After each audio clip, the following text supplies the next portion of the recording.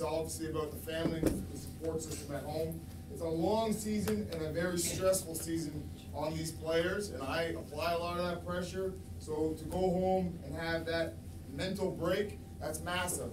So tonight, is for you guys and for those players and for the city, obviously. We started out at the very start of the season, we said our goal is to win not just one, but hmm. everything, right? Hmm.